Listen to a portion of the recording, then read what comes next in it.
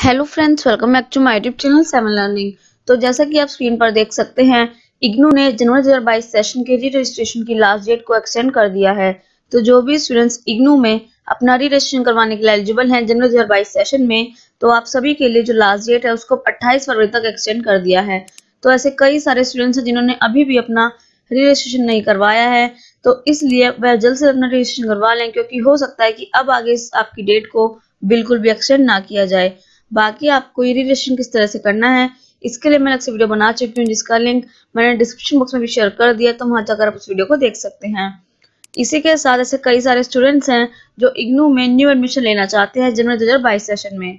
तो इसके लिए भी आप स्क्रीन पर देख सकते हैं कि इग्नू ने 28 फरवरी तक आपकी जो लास्ट डेट है, उसको एक्सटेंड कर दिया है।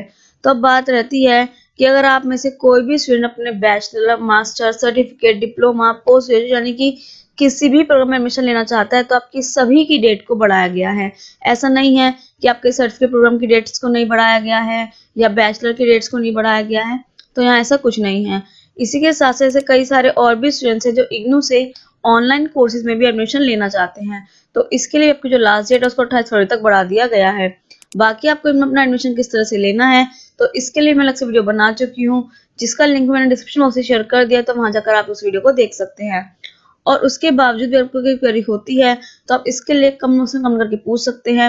या अगर आप हमसे कॉन्टैक्ट करना चाहते हैं तो आप हमसे कॉन्टैक्ट भी कर सकते हैं। और हमसे कॉन्टैक्ट किस तरह से कर पाएँगे, उसके लिए मैंने एक वीडियो बनाई है।